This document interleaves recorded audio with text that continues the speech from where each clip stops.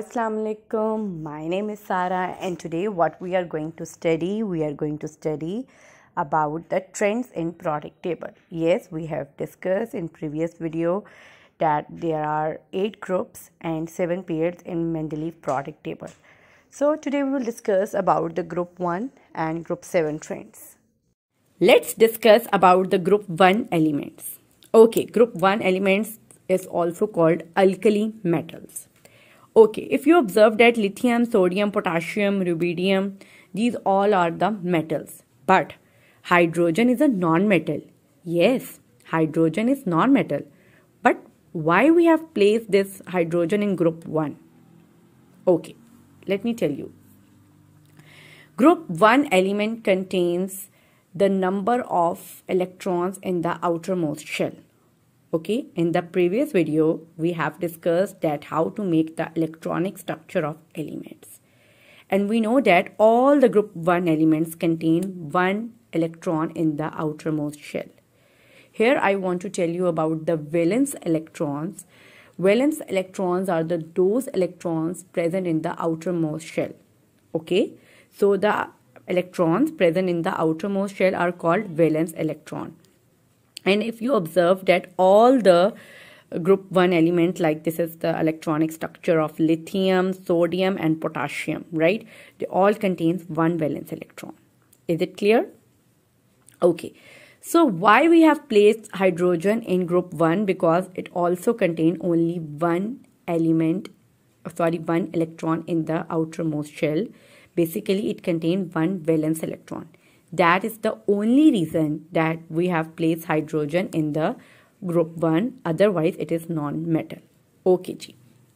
So, uh, if we want to talk about the trends in the group 1 elements, we know that that down the group, when we are moving downwards, lithium, then sodium, then potassium.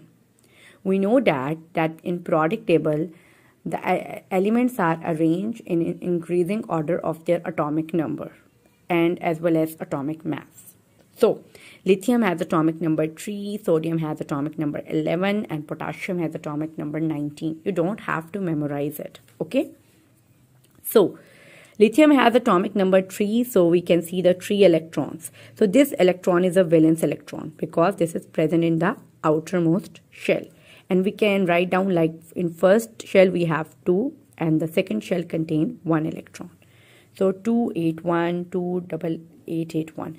And if someone give you this number and ask that uh, this is the unknown element, please tell me in which group it belongs. You can surely say uh, group 1 because its last shell contains only one electron. Okay, G. So when we are moving downwards, okay, we know that atomic number increases. So if atomic number increases, atomic mass will also be increases. What about atomic radius? Atomic radius means if you observe that in lithium we have two shells, in sodium we have three shells, in, uh, in potassium we have four shells. So number of shells also increases. So the distance between the nucleus and the outermost shell also increases. So this is the radius. So yes, atomic radius also increases. What about the reactivity?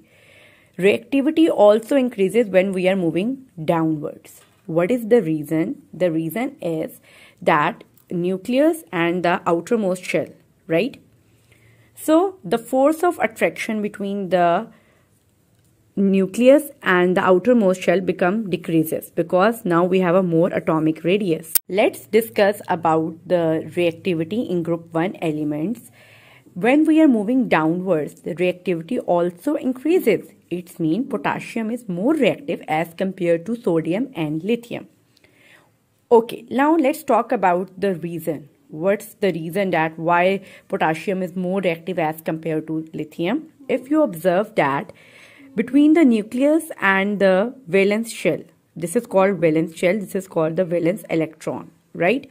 There is only a one shell. Just imagine shell as a barrier.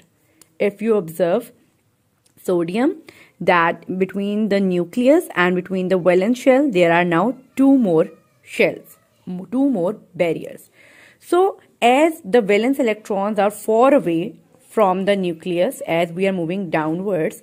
So the force of attraction between the nucleus and the valence electron will be less. So when the force of attraction will be less, so they, it will be easier to lose electron because we know that metals always tend to lose electron right? Metals lose electron and whenever they lose electron they will have a positive charge.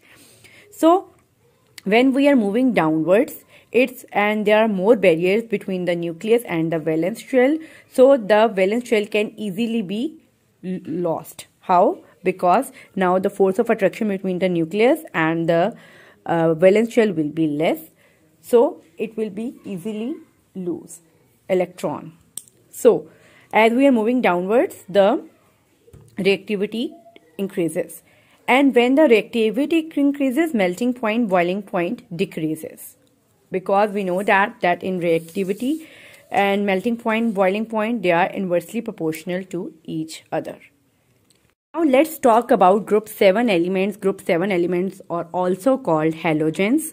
And group 7 mean that all the elements uh, belong to the group 7. They contain 7 valence electrons. Means they have 7 electrons in the outermost shell. Okay, so fluorine, chlorine, bromine, like these are the elements of group 7. And if you observe the electronic structure, all of them contain 7 valence electron and as we are moving downward you can see this that the number of shell increases okay so mean uh, fluorine belongs to group 2 because we have two shells chlorine belongs to third shell and the bromine uh, belongs to fourth shell. Okay.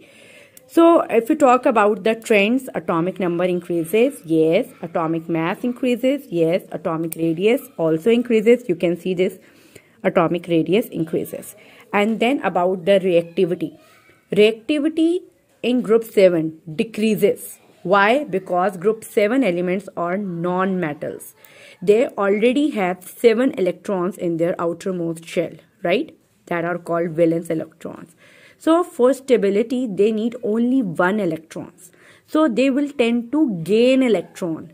And whenever an element will gain electron it will have a negative charge.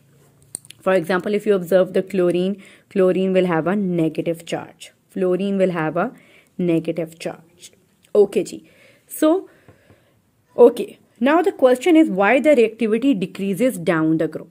Okay, nucleus is the boss. Nucleus is the boss. It's nuclear responsibility to gain an electron. For example, from sodium or potassium, right? So if fluorine has to take an electron from the sodium and potassium, the nucleus will uh, gain an electron. So you can see that between the nucleus and the, there are only two shell, take shells at barriers. There are only two shells. But if you observe the chlorine, you can see there are three shells. So it's very difficult for the nucleus as compare if we compare chlorine to fluorine, it's very difficult for the chlorine nucleus to cross the three shells to uh, cross three barriers and then take an electron from the sodium or maybe uh, potassium, right? And when we talk about the bromine, it's very, very difficult for the nucleus to cross the four barriers and then take electron. Is it clear? That's why the reactivity decreases in group 7 elements. And when the fluorine reacts with the potassium, we will have, we will, we will have a potassium fluoride uh, sodium fluoride, then potassium chloride, then the sodium chloride. So that's why group 7 elements are called halogens because whenever they react with metals, they form the salt. And we know that whenever uh, reactivity and melting point boiling point has inverse relationship. So if the reactivity is decreasing, melting point boiling point increasing.